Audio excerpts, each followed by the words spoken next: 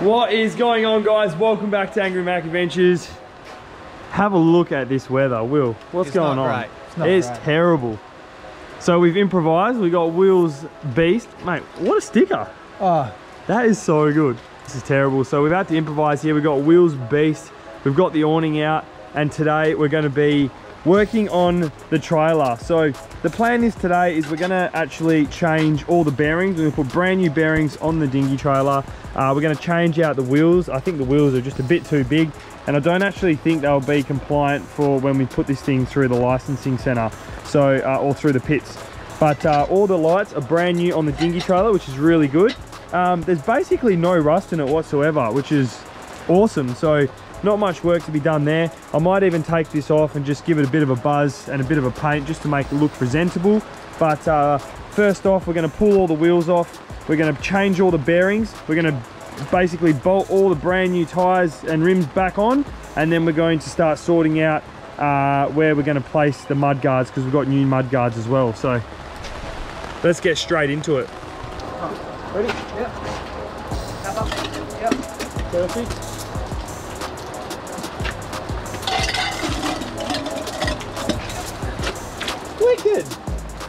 Those bearings are actually in really good condition. Um, you can tell if you try and rock the tire, if it's got any movement left to right, it means that the bearings are on their way out. But they're actually really good. But anyway, for $50, we might as well change them. It's good to change bearings every year or two um, because they are exposed to a lot of salt water, a lot of corrosion. Let's get your wheels on. B William has never done a bearing change before. No, never done the bearings. Unbelievable. Well, Will, you're actually tightening it, by the way. No, no, I'm going this way. Oh, I'm just gonna make sure it's in. That's what she said. Do you want to? Did you want an, um, a hammer? There Who needs go. a hammer when you got guns? All right, so we're going to remove the rack first. Uh, basically, they've got a bunch of these C or U bolts that surround the chassis of the actual trailer itself. We're just going to undo all the nuts under pressure. How strong are they? Um, mate, they are not moving, but just, just, I'm just that strong, mate. I love how I get Will over. He does all the work, and I just record. Yeah. great. Gives me a bit of a break. teamwork, this. This is good teamwork. The folks are loving it. Everyone's everyone's over the 200 series build at the moment. They want to go back to the budget dinghy build. All right, so one, two, three, and four. You want these ones off? Uh, yeah. Uh, Yeah. the front ones. I think the back ones aren't connected, eh? that's a different To the racks? Nah, they're actually connected to this bar. up. Nah, I just need the back ones. Right. Ah, the front You ones gotta go down size because the hole's too big. Oh, okay. Yeah. Do you want to keep that ratchet? You want to keep that socket here so we can undo them fully? You might as well undo them fully first. Yeah, right. Get rid of them. And I'll do some hard works. I'll remove these. Yeah, good. Have a look at the welds on this. That is just stunning performance from the ex-owner. Wow, we. But he's put brand new lights, so that's a good thing.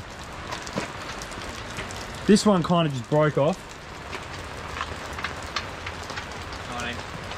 Is it 19? 19. 19?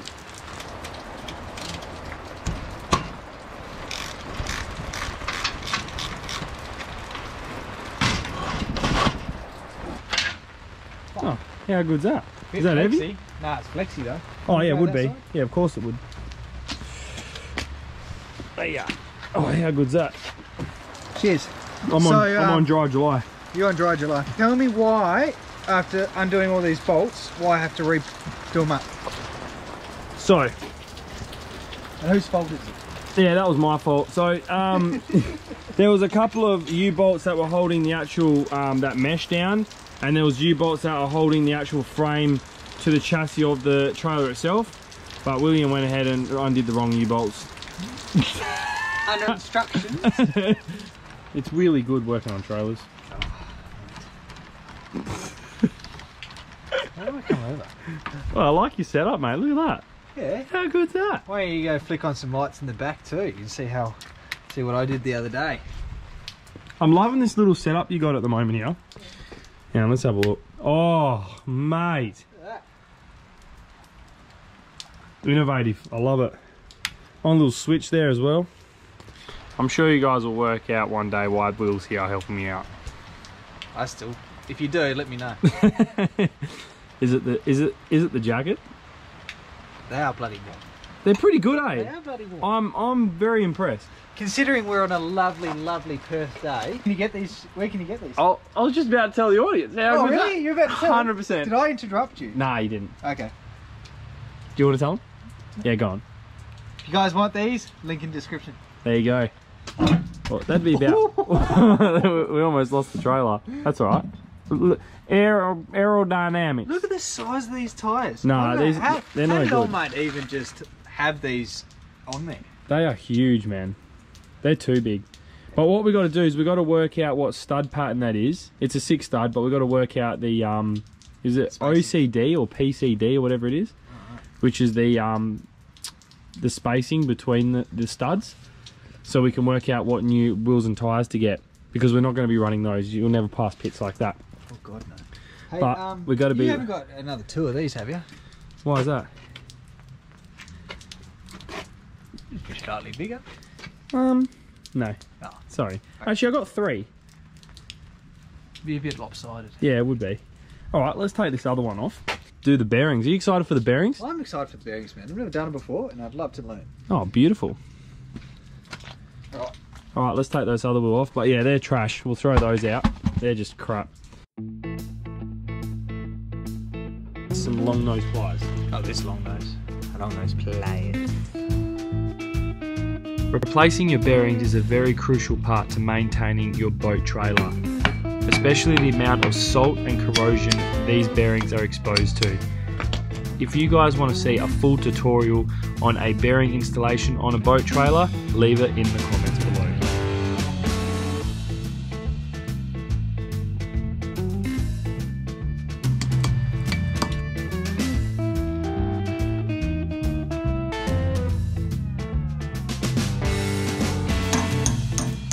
So now we're going to jump over and do the other side. It's exactly the same thing.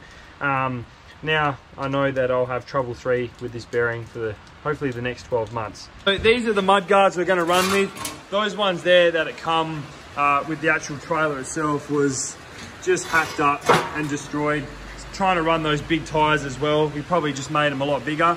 So uh, if you guys don't remember from one of the episodes on my boat build, Mark, the one that dropped off my outboard, he had those sitting in the shed and said, yeah mate, I'm happy to give those to you. So got brand new mud flaps on it and they're just the standard generic single axle trailer galvanized steel mud guard. So thank you very much, Mark. Now we're in the shed, we've, uh, we've got a bit of space in here. The rain was just too much. The bearings are now done. We have bolted the tires back on. Now what we're gonna do is we're just grinding off all the imperfections on top here where um, he previously welded the mud guards on. So I'm getting Will just to grind those back down, get rid of all that surface rust here, here, there and there. All right, how'd you go? That is exactly what we're looking for. Look at that, all ground back. So that used to look like that. Very nice, Will. You just got three more to go. Now you can see those U-bolts where Will is grinding. They have seen better days. These are pretty crucial as they hold the frame of the axle to the chassis itself of the trailer. So these will definitely be replaced.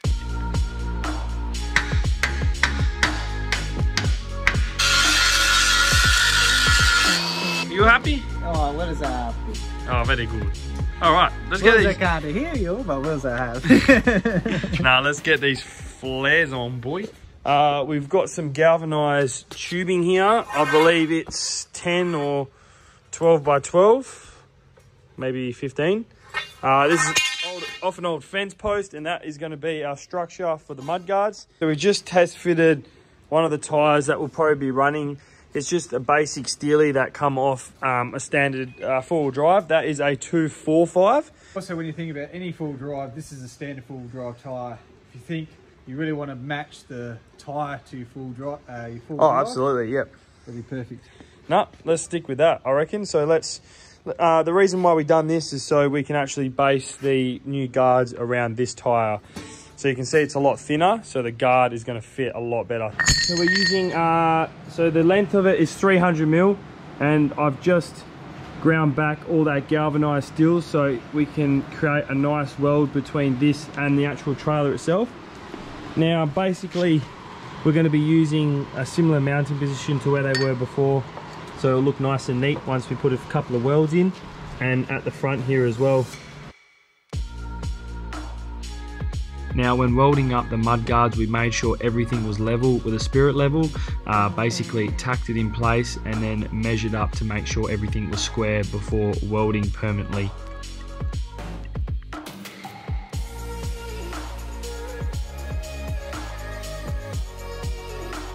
Now these mud guards are galvanized, so before we go welding, make sure that the galvanized is removed so you get yourself a clean weld.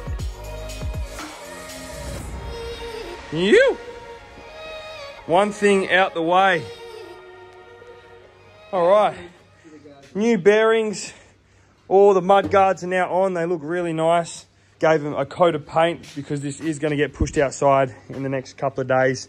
I need to find a set of wheels for it, buy some of that galvanized paint and paint the whole trailer, make it look really nice. And then the trailer's done and it should be ready for pits. Um, I wonder what way these still... Okay, so these shackles have to be re-welded. Um, new regulations, they need to be facing horizontal, so we have to do those as well. And I might get a hammer and bend this back up. Not sure why that's bent. But other than that, guys, I think we're going to call that a night day two and uh, we're just about to finish off this trailer so uh, I found some nice rims that were sitting in the shed so I think I'll be putting these on uh, the dinghy. So they're just off a Nissan Navara six stud. Uh, I'm pretty sure they're the same stud pattern as uh, this axle. So I like these rims. I'm going to use them I don't think the tires will pass. They they're on the verge of basically being legal. So I'll see if I can find some new tires and put them on